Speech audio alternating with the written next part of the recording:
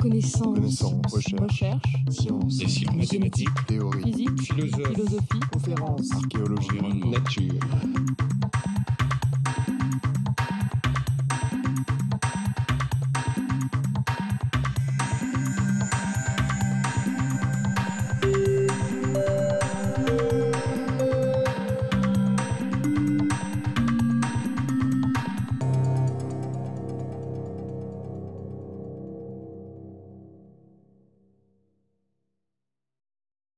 Est la première séance. Elle va durer une heure. Euh, dans la suite, il y aura un certain nombre de blocs de deux heures. Je vais vous représenter le programme.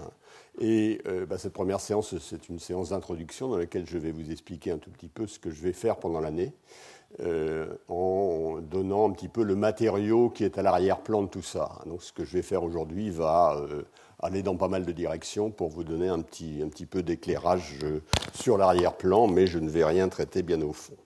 Alors, premièrement, juste le titre, hein, l'État- et le marché, fiscalité, assurance sociale. Hein, Je prends assurance sociale euh, euh, dans son sens, c'est un petit peu archaïque hein, de parler de l'assurance sociale, ça nous, ramène un peu à Bismarck. J'essaierai, par assurance sociale, j'aurais pu dire de façon plus moderne protection sociale en général. Mais je reviendrai là-dessus tout à l'heure. Je voudrais ensuite euh, indiquer, euh, pour ceux d'entre vous qui ne sont pas les plus nombreux, qui ont suivi le cours depuis, euh, depuis que j'occupe cette position, c'est-à-dire depuis les 2000, hein, où se situe un petit peu le cours, je m'étais donné comme objectif de, grosso modo, de essayer de dire tout ce que je savais en théorie économique et que je jugeais important. Euh, pour ce faire, j'étais obligé euh, d'a- d'additionner à ce que je savais euh, des choses que j'ai dû apprendre pour, en savoir suffisamment pour, fa- pour faire une synthèse. Mais grosso modo, j'ai parlé, j'ai présenté des coups de projecteur sur toute une série de chapitres de la théorie économique et d'une façon relativement exhaustive. hein. Peut-être la seule chose que je n'ai pas couverte en théorie positive, c'est un petit peu tout ce qui se rapporte à la monnaie. Je n'ai pas été très loin dans toutes les affaires monétaires. euh, c'est un regret, mais euh, c'est comme ça. Ce que j'ai fait jusqu'à l'an dernier relève de ce qu'on appelle euh, dans le jargon des économistes hein, l'économie positive. C'est-à-dire l'économie positive est opposée à l'économie normative.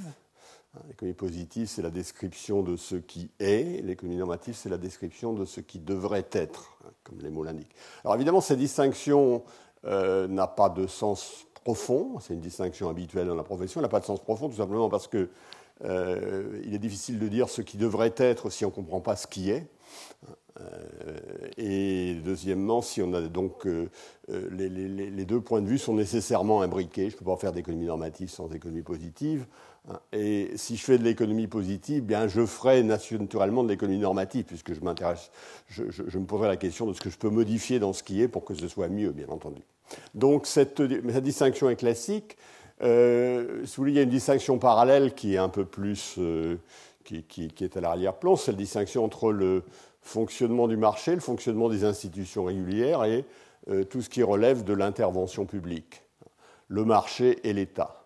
Et donc je suis revenu depuis l'an dernier euh, à euh, l'économie normative, c'est-à-dire euh, à une réflexion spécifique sur l'intervention publique, étant entendu que pendant euh, euh, 7-8 ans, j'ai essayé de décrire comment fonctionnaient les marchés,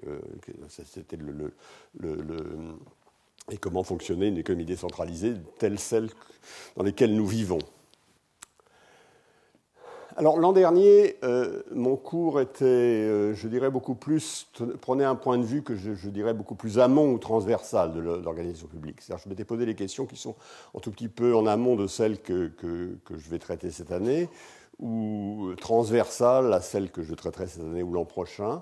C'est en se posant des problèmes de euh, comment passe-t-on d'abord Qu'est-ce que c'est qu'une organisation publique? Qu'est-ce que, Comment passe-t-on des Qu'est-ce que sont les préférences collectives qu'elle est censée mettre en œuvre hein, Comment peut-elle s'appuyer sur les préférences individuelles Et point de vue en quelque sorte dual, comment est-ce que j'obtiens de l'information sur ce que je dois faire? On a vu que ces deux questions étaient intimement liées. comment j'obtiens de l'information de la société pour mettre en place des politiques publiques et comment j'obtiens et comment je, parviens à concilier les intérêts contradictoires des agents. On avait vu au théorème d'Arrow de Gibbard Sattersworth que c'était deux, deux, phases d'une même pièce d'une certaine manière. Donc euh, c'était le point de vue que j'avais pris l'an dernier, donc qui était alors relativement abstrait euh, et euh, transverse. Alors cette année, comme le titre l'indique, je prends je, regarde cette question de, de l'intervention publique, de l'état et du marché au travers des instruments. Fiscalité, et l'assurance sociale, c'est-à-dire tous les instruments qu'on appelle de protection sociale. Et euh, alors, je, vous préviens dès le début, mais ceux qui me connaissent ne seront pas surpris. Hein. Ce que je présente, c'est de la théorie économique. C'est-à-dire, je pourrais présenter la théorie économique qui est à l'arrière-plan de la réflexion sur ces questions. Je ne vais pas faire de la politique économique, c'est-à-dire je ne vais pas prendre un problème, je ne vais pas vous dire, à mon avis, euh, le bon taux de l'impôt sur le revenu s'étend, et mon point de vue n'est absolument pas celui de la politique économique. Non pas que je pense que ce que je dirais est, sans importance pour la politique économique, mais c'est absolument pas mon point de vue. Point de vue, c'est celui de la théorie. La théorie qui est en amont, la théorie qui est euh, relativement abstraite, qui n'est pas... Euh, et qui est éventuellement relativement euh, euh, d'abord qui n'est pas nécessairement facile. Hein, donc. Alors, avant d'entrer donc dans le vif du sujet, hein, et dans le vif du sujet, ce sera, euh, comme à l'habitude, des questions, des modélisations pour y répondre, et des réflexions sur les réponses de ces modélisations et sur, leur, sur leurs limites, sur leur portée. Donc, avant d'entrer dans ces, dans ces exercices plus euh, ardus ou plus euh, euh, moins faciles. Je, vais faire un petit peu un tour d'horizon sur les instruments fiscaux. Et je, vous parler un petit peu de ce qui s'est passé dans l'histoire en ce qui concerne la fiscalité, des grandes questions qu'on se pose, et je vous présenterai ensuite le programme que je traiterai. Alors, d'abord, les instruments fiscaux, bien, on distingue, je, vais distinguer les instruments fiscaux des instruments parafiscaux. Les instruments fiscaux, euh, c'est les impôts, les instruments parafiscaux, c'est tout ce qui concerne le financement de la protection sociale, c'est plutôt, euh, euh, donc c'est plutôt les cotisations sociales, hein, je vous mets les cotisations sociales employeurs, employés, en, faisant, en me référant évidemment à ce qui se passe dans ce pays. Ça ne se passe pas nécessairement de la, même façon dans tous les pays du monde. Et les impôts, j'introduis une distinction assez standard entre les impôts directs, et qu'on retrouvera évidemment dans le cours, et les impôts indirects impôt indirect, alors j'ai trouvé une définition, je ne sais plus exactement où elle est, mais c'est prélevé à l'occasion d'opérations précises et indépendantes de la personne. Hein. donc les impôts indirects typiques sont, ont une assiette. Assiette, c'est un mot qui est suffisamment euh, euh, du langage suffisamment connu dans le langage courant pour que je ne l'explique pas, mais qui est une assiette, donc une base qui est fondée sur une transaction. Impôts indirects typiques, la taxe à la valeur ajoutée, euh, les, taxes sur les produits pétroliers, etc. Alors, aux impôts indirects, on impose des impôts directs qui sont des impôts dus nominativement par une personne physique ou morale et taxant le capital ou le revenu. Donc il y a, l'idée que dans l'impôt direct, que vous avez en face de vous une personne physique ou une personne morale, et vous avez des choses observables qui ne sont pas nécessairement liées à des transactions. Donc l'assiette, ça peut être le revenu, ça peut être le patrimoine, ça peut être le capital, etc. Alors cette distinction est moins euh, évidente et euh, claire qu'elle en a l'air. Euh, par exemple, si vous avez si, vous avez un impôt sur le revenu, que votre revenu est uniquement un revenu salarial et que cet impôt sur le revenu est prélevé, comme c'est dans un certain nombre de pays, à la source, il n'y a pas de différence de nature très profonde entre cette fiscalité sur votre revenu et la fiscalité sur une transaction lorsque l'entreprise met un produit sur le marché et qu'elle également, elle prélève, euh, elle prélève, l'impôt pour le, pour le donner à l'État. Donc la distinction n'est pas conceptuellement totalement claire. On le verra en particulier dans une discussion, mais elle est assez habituelle, je la, euh, je la rappelle. Juste deux mots sur les contreparties. Alors pourquoi on lève l'impôt? Bien, On lève l'impôt euh, pour euh, financer un certain nombre de choses. Alors, premièrement, il y a le financement de ce qu'on dit. Je mets les biens collectifs. Euh, biens collectifs, il s'agit du bien collectif entre guillemets. Hein. Une partie des biens que fournit l'État sont des biens collectifs au sens strict. En particulier donc les services régaliens, la police, euh, la, défense, euh, l'archétype du bien collectif. Euh, d'autres ne sont pas des biens collectifs, ce sont des biens consommés privativement, mais pour lesquels il y a une sorte de concernement collectif de la société, soit pour, toute une série de raisons, hein, c'est l'éducation, la santé. Donc, financement des biens collectifs, et ça, c'est grosso modo trois euh, dans le système euh, français, dans, les, pas mal de pays développés, ce sont trois euh, grands chapitres à peu près équivalents en termes de, volume de financement. très, grossièrement équivalent. Hein. Un tiers, un tiers, un tiers, ce n'est pas, pas des tiers tout à fait égaux, mais c'est à peu près ça. Deuxième fonction de la fiscalité, c'est la redistribution des revenus primaires. C'est-à-dire que tout système, enfin les systèmes fiscaux, les systèmes fiscaux modernes, hein, euh, redistribuent le revenu, c'est-à-dire qu'ils prennent de l'argent à des gens et en donnent à d'autres. Euh, comment ils le font dans le détail, quels objectifs ils poursuivent, c'est une autre affaire, mais il y a une partie qui est redistribution des revenus primaires. Euh, en ce qui concerne les, Il y a une catégorie aussi différente qui sont les, prestations sociales, qui sont cette fois des revenus qui sont donnés dans un système par, par, euh, répartition, euh, l'argent que vous versez est donné aux personnes âgées et en contrepartie, il y a un contrat social qui fait que lorsque vous serez âgé, vous recevrez l'argent des, gens qui travaillent, etc.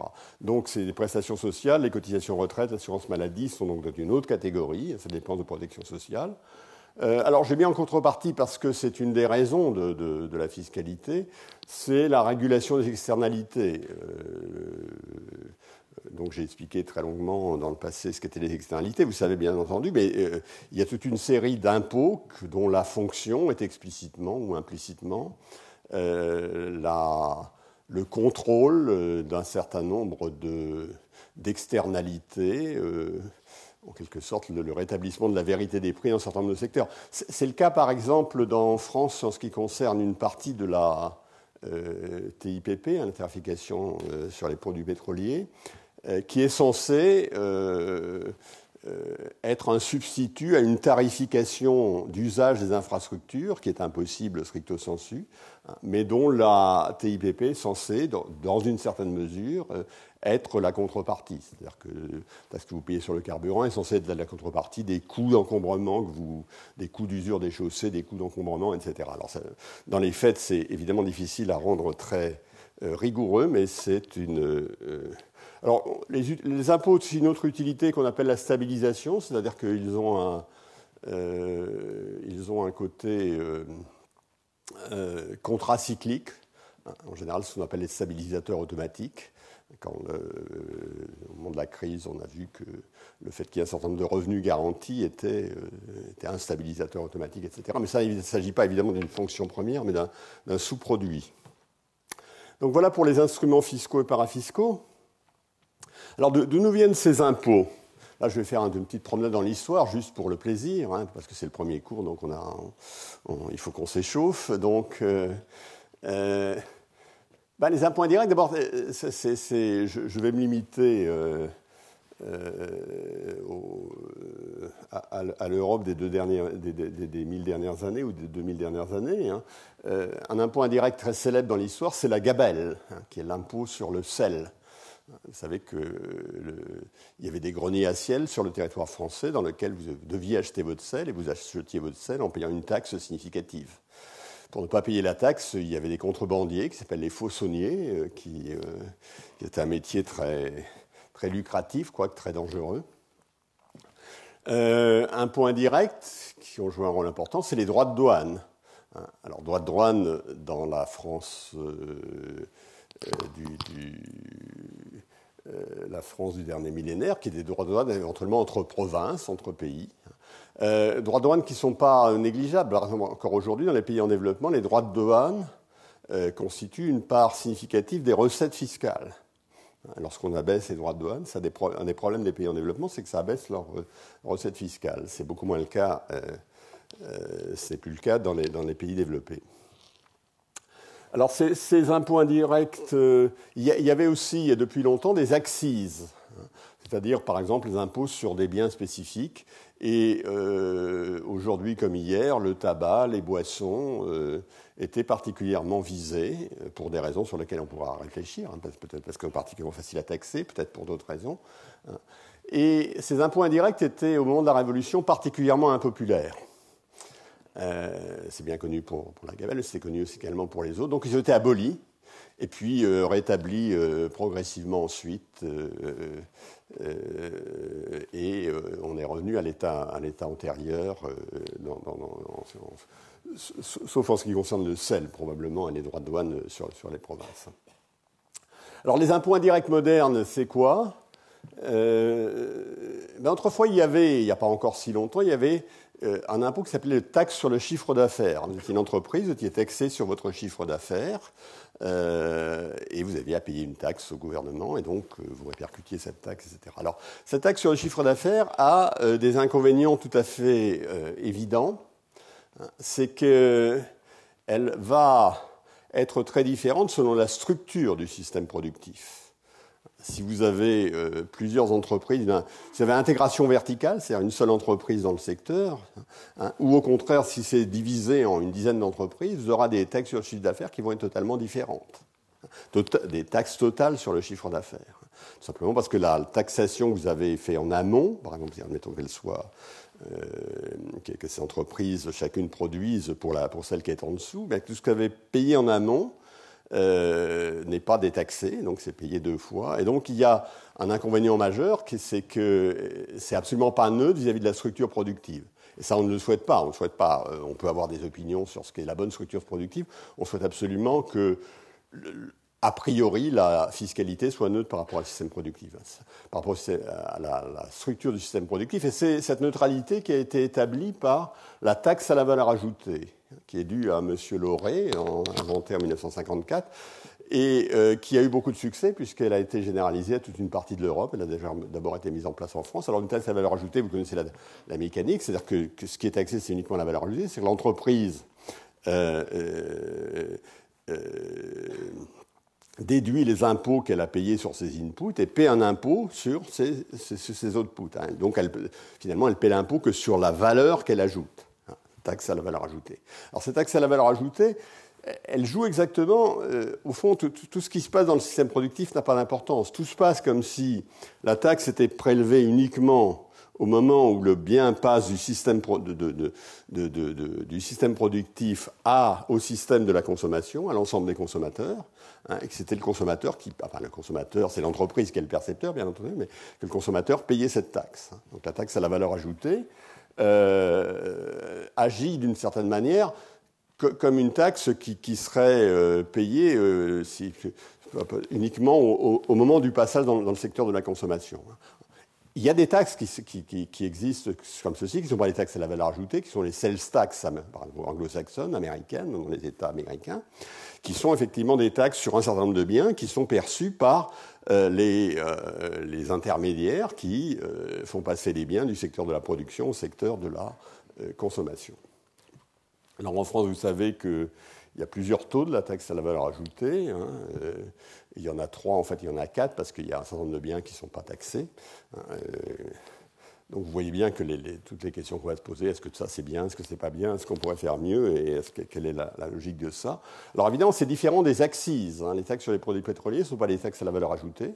Hein. Vous ne détaxez pas euh, euh, le, carburant que vous avez utilisé comme input, euh, c'est différent des taxes sur les alcools, etc.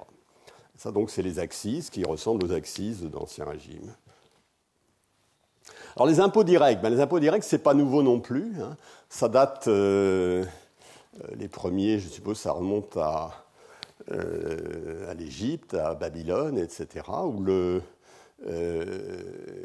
les, gens avaient à faire des apports en nature au souverain, qui lui permettaient d'entretenir son armée, ses prêtres, ses palais, etc. il y avait aussi les corvées, des corvées, pardon, il y avait des apports en nature, donc une partie de votre récolte. Hein. Il y avait aussi des corvées, c'est-à-dire donner votre travail pendant un certain temps. Ça n'a pas, ça, a duré assez longtemps, euh, dans tout le Moyen Âge. Un impôt euh, dont vous avez sûrement entendu parler, euh, c'est la taille. La taille, c'est l'exemple de l'impôt indirect, de l'impôt direct d'ancien régime. Et euh, la taille, les États généraux en 1439 ont autorisé le roi de France à augmenter la taille de son propre chef, c'est-à-dire sans l'accord des États généraux. Vous savez que les États généraux, on l'a revu à la Révolution, hein, ils ont été convoqués à la Révolution pour pour réfléchir à une modification de, l'impôt. Et ils avaient permis au roi de relever la taille, qui est devenue donc une sorte de prérogative royale. et la taille, il, y avait, il y a beaucoup de, c'est un, impôt direct. Hein. Il, y a la taille réelle ou la taille personnelle. Il est perçu soit sur le revenu, soit sur le capital. Et il est différent dans les pays d'État et les pays d'élection. Donc en France, il y avait des pays d'État, des pays d'élection. Il y avait des tailles réelles pour les pays d'État et des tailles personnelles pour les pays d'élection. Je ne vais pas du tout entrer dans le détail, simplement pour vous dire, j'ai euh, fait passer ici euh, le registre de la taille de Cuverville-sur-Yère en 1696. Euh, juste pour le, euh, pour la curiosité. Hein, alors Cuverville-sur-Yère est une commune ou un village de Seine-Maritime. Je, dois dire que je n'ai pas vérifié si c'était un pays d'État ou un pays d'élection, et euh, si c'était une taille réelle ou une taille personnelle, je ne suis pas absolument sûr. Mais ce que vous pouvez voir, c'est que vous avez le nom des, gens du village, et vous avez des contributions extrêmement différentes selon les gens.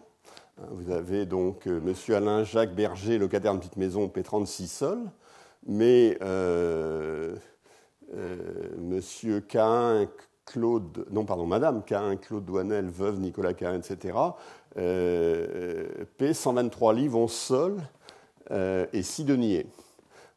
Et vous, pouvez voir, donc c'est le début de la liste. Donc ça veut dire que s'il y avait donc une organisation de cette euh, de, ce prélèvement euh, qui, impliquait euh, toute une série d'intermédiaires, toute une série de professionnels, qui impliquait des comités locaux, etc.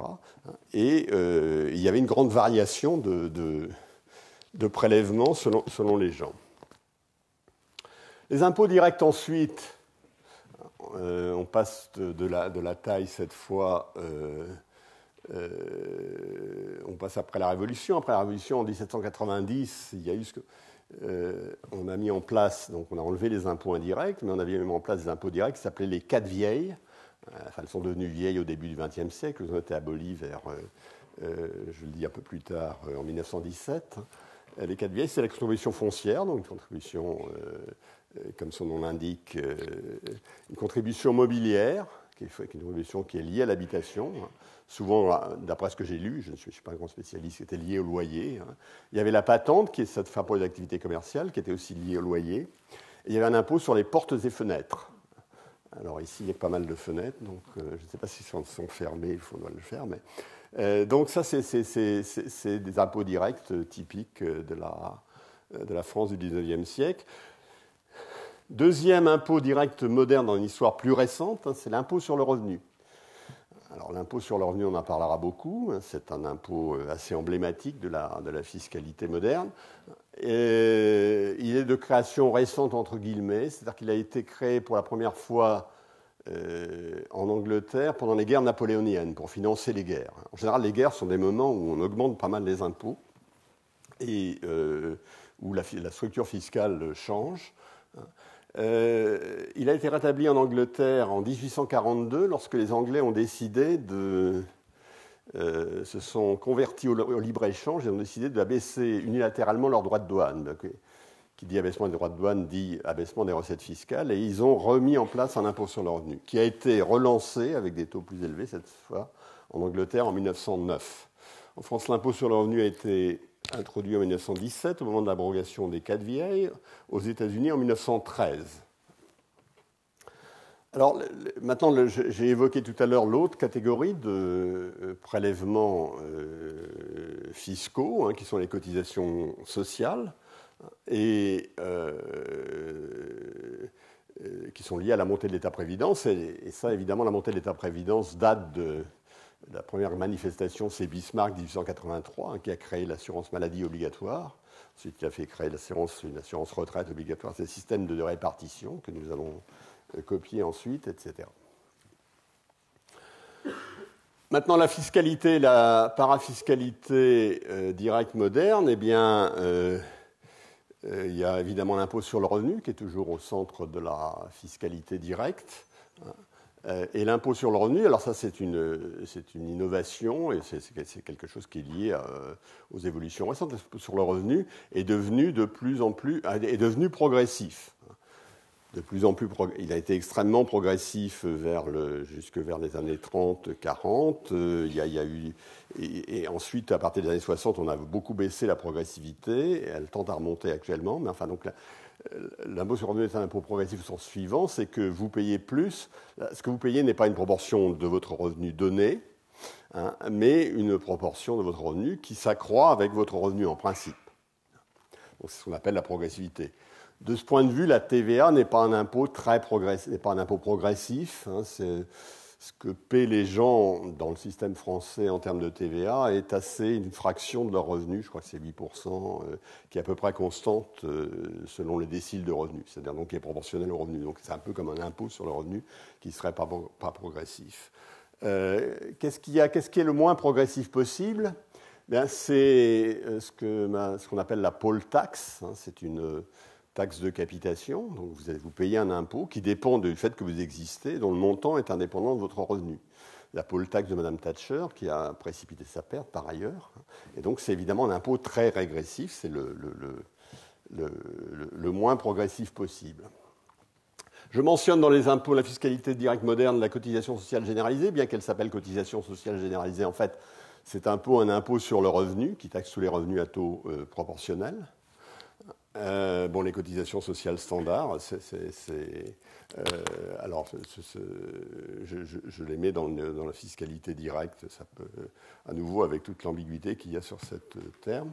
Et euh, je mentionne en fin de dernière catégorie, dans les impôts directs, hein, mais qui sont des impôts qui sont de vieilles connaissances, les impôts sur le capital. Impôts sur le capital, je mentionne les impôts sur les sociétés, taxation des dividendes, Hein, on peut dire d'ailleurs qu'il constitue une double taxation du capital, euh, et la fiscalité et tous les impôts qui touchent le patrimoine, l'héritage, etc.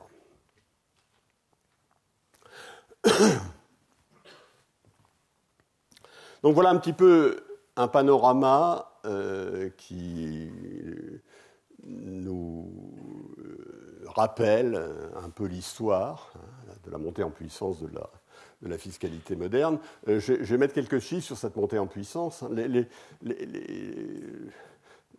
en, introduisant le concept de prélèvement obligatoire. Alors, concept de prélèvement obligatoire, je vous ai donné une définition qui vaut ce qu'elle vaut. Enfin, grosso modo, c'est des choses, euh, euh, c'est des versements opérés par les agents au secteur des administrations publiques qui ne décident pas d'une décision de l'agent économique qui les acquitte, mais d'un processus collectif de décision relative aux modalités au montant des débours à effectuer, et qui sont sans contrepartie directe. Hein. ça veut dire que vous payez et c'est obligatoire, vraiment obligatoire. Alors, une manière de mesurer euh, l'intervention de l'État ou l'intervention publique dans l'économie, hein, une manière qui, n'est d'ailleurs pas très euh, euh, euh, pas très satisfaisante, mais qui est une première manière de mesurer, consiste à prendre le ratio des prélèvements obligatoires sur le PIB. Euh, bah, le, PIB, je ne vais pas refaire de la quantité nationale. Hein. le PIB a contrepartie le revenu national, c'est-à-dire euh, la contrepartie du PIB, c'est les revenus qui sont donnés par les agents. Et les prélèvements obligatoires, c'est cette part du revenu national qui va aux organisations publiques, qui va à la fiscalité ou le parafiscalité. Alors ça a beaucoup augmenté puisque c'est passé de 5 à 10% avant 1914, donc c'est des taux, de, taux inférieurs à 10% jusqu'à l'époque moderne, hein, jusqu'à 40 euh, à 50 dans, les, dans toute une série de pays développés, hein, la France étant à peu près autour de 45 euh, la, la, comparaison euh, entre pays des prélèvements obligatoires doit être faite avec beaucoup de précautions. Par exemple, si vous prenez un pays comme euh, dans lequel les cotisations sociales sont obligatoires et sont euh, un système par répartition, il vous ne pouvez pas le comparer directement à un pays dans lequel euh, il y a des systèmes par capitalisation qui sont plus ou moins obligatoires, qui passent par l'entreprise, mais où ce que vous cotisez n'est pas considéré comme un prélèvement obligatoire, qui n'est pas obligatoire au sens de cette définition. Donc il faut être assez prudent dans les comparaisons. Hein. Deuxièmement, il faut bien voir qu'une partie de ces prélèvements obligatoires est redistribuée, c'est-à-dire qu'elle apparaît dans le revenu disponible des ménages. Une partie des prélèvements obligatoires, les cotisations, à nouveau, les cotisations sociales pour la retraite, elles sont prises Hein, sur le revenu national, mais elles sont redonnées au revenu, elles, reviennent de ce revenu national avec d'autres personnes, avec des, coûts administratifs bien entendu, mais euh, et donc le, revenu disponible sur PIB est lui entre 70 et 80 euh, C'est le reste qui finance les, biens collectifs, etc. On en a parlé tout à l'heure. Alors là, je, vous donne pour la France en 2005 euh, un tableau sur les euh, prélèvements obligatoires, hein, sur la forme que prennent les prélèvements obligatoires en France aujourd'hui. Et ce que vous pouvez retenir, alors d'une part, euh, le PIB est de 1710 milliards d'euros en 2005, hein, et euh, les prélèvements obligatoires hors cotisation sociale 475 milliards d'euros, avec cotisation sociale qui représente, voyez, à peu près 277 milliards, 752 milliards d'euros. Hein. Euh, on, est dans les, dans les pourcentages que j'ai indiqués tout à l'heure en termes de prélèvement obligatoire. Hein, je crois que ça fait 44% si vous refaites le, Avec ma calculette, ça devait donner, ça devait donner 44%. Euh, alors, simplement, que ce que vous retenez de ce tableau, ben, vous voyez bien, ce n'est pas les chiffres exacts, bien entendu, mais c'est un petit peu euh, l'ordre dans lequel apparaissent ces impôts, puisque l'ordre, c'est l'ordre des recettes qu'ils procurent plus grande recette, c'est la TVA. ensuite, la contribution sociale généralisée, hein, qui, bien que qu'étant assez récente, est assez performante de ce point de vue. L'impôt sur le revenu est assez faible en France comparé à d'autres pays. On le voit, il apparaît ici en troisième. Donc l'impôt sur les sociétés apparaît en quatrième. Puis ensuite, vous avez la taxe professionnelle, la TIPP, qui arrive dans un mouchoir de poche. Euh, et euh, vous voyez très, très loin derrière une taxe particulièrement euh, polémique, euh, qui, suscite particulièrement la polémique, l'impôt sur la fortune, qui, qui, arrive là tout en bas euh, avec 3 milliards d'euros. Là, j'ai repris, repris, ces données simplement en, mettant les pourcentages. Alors, les pourcentages de, chacune de, de, ces prélèvements obligatoires, donc il y a 17% euh, qui va à l'État, 5-8% aux collectivités locales et 26% à la sécurité sociale. En fait, ces chiffres sont des chiffres de 1998. Donc les chiffres, par contre, les chiffres entre parenthèses sont les chiffres de 2005 du tableau que je viens de vous montrer. Et vous voyez qu'ils sont à peu près équivalents. Enfin, on pourrait. Euh, euh, il y a quelques petites modifications. Donc vous voyez que la TVA, ça fait 7,5% du PIB. Hein. L'impôt sur le revenu, 3,3% ou 2,9% en, en 2005, l'impôt sur les sociétés de l'ordre de entre 2,1 et 2,4, hein. euh, les prélèvements sur les produits pétroliers entre 1,8 et 0,3, la taxe professionnelle 1,5, la taxe foncière 1,2, taxe d'habitation 0,8, et euh, vous voyez la sécurité sociale qui, est, euh, qui, correspond à peu près à 21% du PIB, avec la CSG qui est à 4, et euh, les cotisations sociales à 16%. Donc euh, voilà un petit peu les ordres de grandeur pour la France de ces prélèvements obligatoires, la structure des prélèvements obligatoires. Bien entendu, là, je, vous montre un tableau qui euh, reprend un tout petit peu ces, données de façon un peu différente.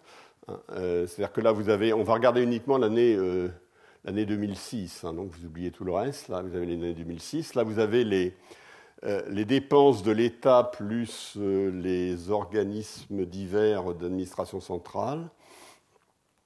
Euh, donc, c'est grosso modo, c'est l'État.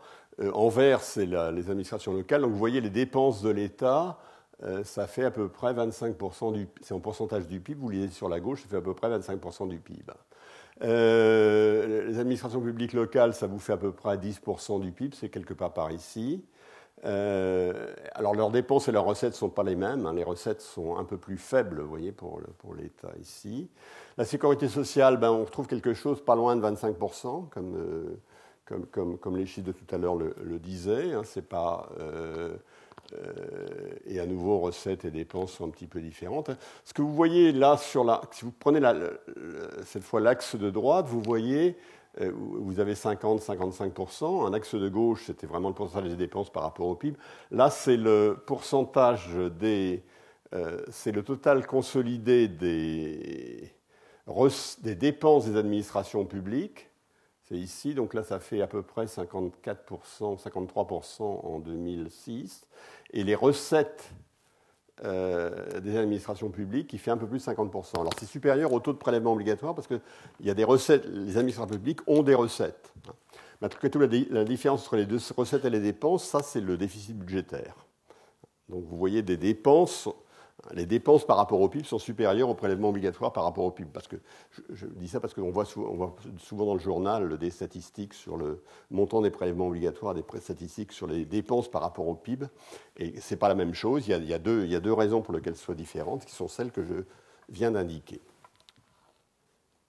Encore un petit tableau euh, que je ne vais pas commenter longuement parce qu'il est assez difficile à dire, mais sur une autre fonction de la fiscalité qui est la redistribution. Hein.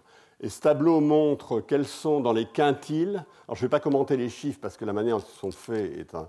Mais les ordres de grandeur sont. Enfin, les, proportions entre 4,2 et 32,1 euh, qui sont. Euh, donc celui-là, dans, le cinquième quintile, le, revenu avant impôt est sept fois plus important que dans le premier quintile. Ça, c'est robuste. Maintenant, ce que c'est 32,1, je ne vais pas vous expliquer ce que c'est exactement. Mais euh, grosso modo, ce que montre ce tableau, c'est que vous avez les ce qu'ont les revenus avant impôt et les revenus après impôt, c'est-à-dire après, euh, que le système ait fonctionné pour euh, donner des revenus euh, à des gens, par exemple l'aide au logement, par exemple, etc., et pour tenir compte des impôts. Hein. Et vous voyez que il, y a une redistribution significative, puisque là vous avez 4,2 à 7, hein, et là vous avez 32,1 à 27,1, ou pour le dixième décile, 40 à 33. Donc, en fait, quand on regarde un peu ce tableau, on voit que la redistribution dans ce pays est essentiellement une redistribution du premier décile vers le premier quintile. C'est un petit peu exagéré, mais ça donne une, petite idée de, ce qui se passe. Avec évidemment la question, euh, alors je, n'aborde pas la question est-elle suffisante, insuffisante ou euh, est-elle faite efficacement, mais c'est évidemment des questions qui sont derrière tous ces tableaux.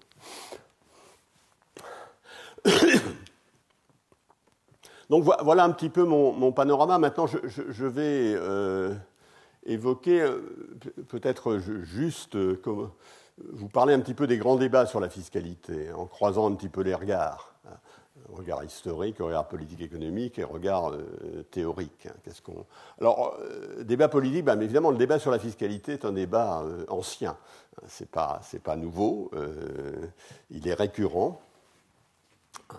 En particulier, euh, sous la monarchie, la question se posait, euh, sans, remonter aux, Égyptiens, hein, sous la monarchie, la question se posait de, du, droit de lever l'impôt. Et euh, Jean Santerre, en 1215, dans la Magna Carta, a accepté que l'impôt soit levé avec le consentement du Parlement. Une, euh, les États généraux en France ont été créés en 1338, même si, en, je crois, en 1439, ils ont euh, euh, transmis une partie de leurs prérogatives au roi.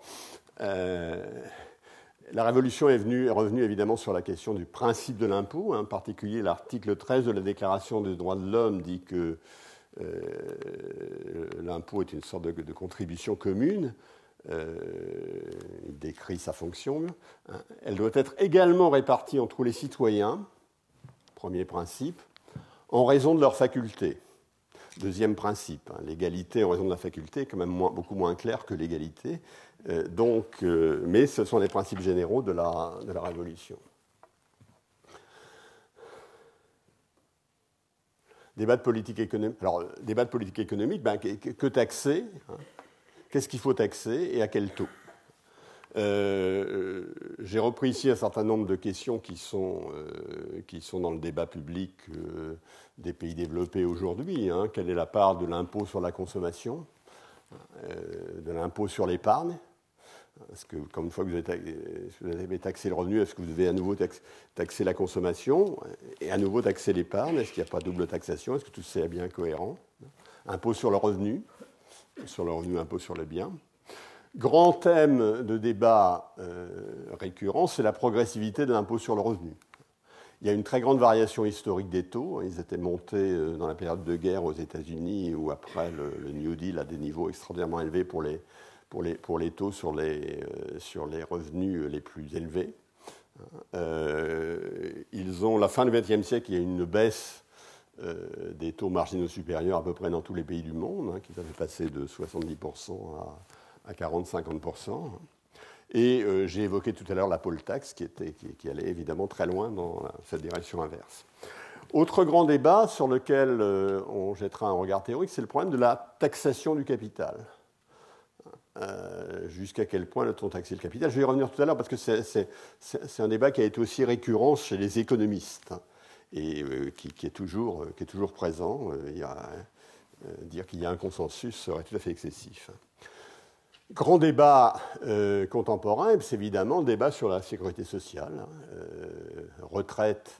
Je ne veux pas aller trop dans l'actualité, mais évidemment, des grandes, je ne vais pas vous parler de l'âge de départ à la retraite, mais la, question de la, grande question de répartition contre capitalisation, hein, c'est un débat qui, euh, qui est apparu dans notre pays il y, a, peu de temps, mais c'est un débat qui est évidemment qui traverse toutes les sociétés et sur lequel j'essaierai de dire quelques mots aussi.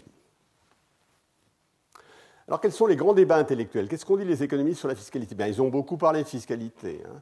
Euh, l'ouvrage célèbre de Ricardo, c'est les principes de l'économie politique et de l'impôt, euh, où, il exprime, où il expose une partie de, sa doctrine. Alors, quels sont les lettres motifs ben, Les lettres motifs, ils ne sont, ils sont pas, très surprenants. Je, vais dire juste un mot de, des positions les plus euh, les plus étranges d'aujourd'hui sur ces questions. Enfin, euh, étranges, je ne sais pas, mais enfin, je, donc je, je parlais tout à l'heure. Mais bon, quels, sont les motifs Bien, Depuis Ricardo, euh, il ne faut, il faut pas pénaliser la création de richesse. L'impôt ne doit pas pénaliser la création de richesse, il ne doit pas restreindre la taille du gâteau. Une, ou pas trop.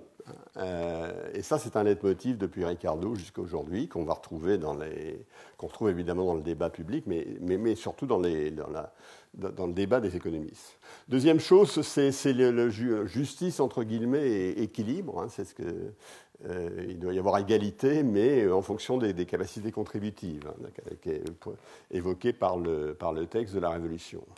Euh, John Stuart Mill parle de l'égalité des sacrifices. Donc l'impôt devrait être tel qu'il conduise à l'égalité des sacrifices. À nouveau, ce qu'est l'égalité des sacrifices est très loin d'être clair dans toute une série de contextes. Hein. Mais ça introduit la préoccupation d'équité. Donc l'impôt, euh, c'est euh, la conception de l'impôt, c'est un problème standard d'économistes euh, dans lequel la dimension compromis, équité, efficacité est au premier plan. Alors, si je prends les économistes, il y a des grands écarts sur les, sur les propositions.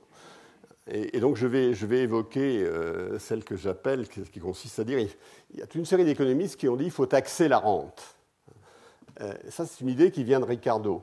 La rente, euh, c'est quelque chose euh, qui apparaît à l'équilibre du marché, euh, qui valorise la contribution de facteurs de production, mais ces facteurs de production sont pas des ce sont des facteurs de production qui sont donnés. C'est la terre. Donc, le bon impôt, c'est un impôt sur la rente parce qu'il ne modifie pas l'élasticité de l'offre, il ne modifie pas l'offre, théoriquement. En fait, c'est beaucoup moins sûr que ça. Hein. Euh, la, qualité de la terre est elle-même quelque chose qui est produit, la, mise en valeur de la terre, etc. Euh, mais euh, grosso modo, l'idée, c'est qu'il y a une bonne base, fiscale sont les produits qui donnent lieu à des rentes, hein, au sens où leur valorisation résulte des forces du marché, a une fonction dans euh, une fonction pour la bonne efficacité des ressources, mais le fait de les taxer ne va pas euh, réduire leur, leur, offre. Et euh, cette proposition a été reprise par John Stuart Mill, par exemple, mais aussi de façon plus détaillée en Angleterre par Henri Georges et en France par Léon Valras. Hein, Léon Valras qui est un... Et j'ai ajouté Maurice Allais parce que la, sa proposition de taxation du capital, qu'il a, faite à un certain moment, qui, euh, s'inscrit dans, une, dans la logique qui a à peu près la même, logique que, celle de Valras. Euh, alors, grand écart sur les propositions, euh, taxation. Je, vais redire juste un mot tout à l'heure, si je retrouve la citation de Valras que je cherche. Euh, mais euh, alors, le, alors, le, capital, taxation du capital, c'est vraiment un domaine sur lequel il y a eu beaucoup d'opposition entre les, économistes. Hein. J'ai mis aller d'un côté, mais il y a beaucoup de gens de, styles différents, comme Fischer, Mead ou Calder, qui refusent, enfin, qui, pensent que la taxation du capital est une mauvaise chose. Alors pourquoi cette question est-elle, pourquoi il n'est pas surprenant que cette question se, soit posée et qu'elle ait été euh, qu'elle ait conduit à des positions diverses ben, Parce qu'à court terme, le capital, c'est fixe. Ce qu'il obtient, ça ressemble à une rente. Et à long terme, au contraire, ça, dépend de décisions qui ont été faites. Donc à la fois, selon le, regard que vous portez sur le, sur le capital, hein, comme euh, un regard un peu instantané ou un regard très long, vous avez une vision différente de l'effet de la fiscalité sur l'assiette, qui, est une des questions euh, qui est toujours sous-jacente. Alors, quelles sont les questions sous-jacentes euh, J'ai mis trois grandes catégories hein, parce qu'on va les rencontrer de façon récurrente. premièrement, la conception de l'État que vous avez, et donc des objectifs. Euh, par exemple, l'État de Valras, Valras, c'est une conception de l'État qui n'est pas du tout la conception utilitariste. Je vous avais expliqué assez longuement l'an dernier les conceptions type bentamienne de l'utilitarisme. La conception de l'État de Valras est différente. Par exemple, il dit, euh, l'argumentaire qu'il donne pour euh, taxer euh, la rente, alors oui, pardon, j'ai oublié de dire, dans Valras, hein, ce qu'il veut taxer, c'est la terre, hein, c'est la rente foncière. Et en fait, il proposait, sous des modalités assez compliquées, en quelque sorte de nationaliser la terre, que ce soit la source de revenus, que, la rente provenant de la nationalisation de la terre soit la source de revenus de l'État. Et voilà ce qu'il disait pour justifier ça. La nature nous a donné la terre à tous et nos facultés personnelles à chacun. Au nom de principes moraux déduits rationnellement de définitions morales, je dis que nous devons consommer les rentes en commun et nos salaires en propre, salaires en propre. Il s'agit bien d'une conception de l'État. que l'État est une personne morale qui a euh, droit à la propriété de la terre et les agents ont droit à la propriété de leur travail. Il faut ainsi, en laissant à l'individu la pleine possession de ses facultés personnelles, de son travail et de son salaire, faire passer la rente en la possession de l'État. Donc j'illustre parce que c'est une position euh, qui, est, qui vue d'aujourd'hui, est assez étrange. C'est-à-dire qu'il y a, il y a peu de gens qui, euh, défendent cette conception de l'État. Et euh, je, je, dirais c'est une des spécificités de Valras, hein, qui n'était relativement inclassable, comme il disait lui-même, socialiste et libéral. Hein. Mais son socialisme était d'un genre assez particulier. Et son, mais son libéralisme était aussi d'un genre assez particulier, puisque euh, vous en avez un petit peu là. là ce texte y fait, écho. Alors c'est très différent de l'état de Bentham ou de, ou Rawls, hein, où euh, l'état de Bentham ou de Rawls, euh, on doit déterminer le, système fiscal, comme toutes les grandes institutions, derrière le voile de l'ignorance, c'est-à-dire sans savoir qui on sera, et ajoute Rawls en tenant compte du, du, bonheur du plus défavorisé. Il y a une autre vision tout à fait différente, consiste à dire eh bien, euh, les choix fiscaux sont des choix de politique et ma, seule, ma seule, responsabilité, c'est d'expliquer ce qui se passe. Et je vais donc essayer d'expliquer, euh, par exemple, la progressivité de l'impôt sur le revenu en tenant compte euh, des, des, intérêts des uns et des autres et du fonctionnement du système démocratique, de la manière dont on est conduit à choisir ceci. Donc, c'est ces trois visions tout à fait différentes sur le système fiscal, ces trois visions qui, seront, qui vont rester à l'arrière-plan. Alors, deuxième grande question sous-jacente, bah, c'est celle que j'ai évoquée l'an dernier, sur laquelle je reviendrai cette année de façon répété, hein, c'est quelles sont les contraintes informationnelles de la politique? Et j'essaierai de vous montrer que selon ce qu'on sait, selon ce que le centre à qui est délégué la conduite de la politique publique, selon, l'information qu'il peut obtenir, selon la qualité de cette information, information sur les, sur agents, sur leur, euh, eh bien, on ne fait pas du tout la même chose. Donc, observe-t-on Quelle information peut-on découvrir? Quelle est la bonne manière de la découvrir? Quelle est la manière de la découvrir qui euh, soit euh, socialement acceptable, je veux dire politiquement acceptable? Alors maintenant, troisième chapitre, plus, modeste cette fois, qui, je, joue un petit peu dans la... Là, j'étais un petit peu dans les hauteurs, je, reviens un petit peu en surface. Hein. C'est l'incidence de l'impôt. Vieille question aussi dans l'économie politique. Pas parce que vous avez un impôt que vous savez qu'il paie. Euh, qui paie l'impôt. Euh, et là, je reviens à la question tout à l'heure euh, ne pas pénaliser la création de richesse, quelle distorsion des choix, quel coût en termes d'efficacité, et donc à l'arrière-plan, quels objectifs, mais ça, ça me ramène à la conception de l'État. Donc voilà un petit peu euh, qu'est-ce que je vais faire dans ce cours Là, je répète ce que je vous ai dit tout à l'heure. Euh, je vais essayer de fournir, comme à l'habitude, puisque ce cours est un cours de théorie économique, hein, de vous donner l'éclairage théorique sur ces questions. Euh, l'éclairage théorique, c'est vous présenter sur chacune des questions les modélisations qui sont proposées, les hypothèses que l'on fait, les conclusions que l'on obtient, en essayant d'expliquer la logique. Je ne referai pas des calculs très, très, très sophistiqués, mais en essayant d'expliquer la logique de, ce qu'on, de, de comprendre quand même la, mécanique qui est mise en place. Donc je ne s'avise pas à trancher les questions de politique économique, mais à les éclairer euh, ou je serais peut-être un peu plus modeste, hein, s'interroger sur la capacité et les limites de nos modèles euh, à les éclairer. On verra qu'il bah, y a quand même plein de choses sur lesquelles on n'est pas sûr de, bien savoir répondre, même lorsqu'on a réfléchi aussi, autant que faire se peut, euh, et en utilisant les, meilleurs outils. Donc, qu'est-ce que je vais. maintenant, la mise en perspective, bien, j'aurai trois, trois, je reprendrai tout à fait ce point de vue de l'an dernier, c'est le mécanisme design, extraction d'informations, choix, choix public. Euh, et je mettrai en opposition ce que j'appelle la logique du first best. Le first best, c'est vraiment l'économie, le deuxième théorème de l'économie du bien-être.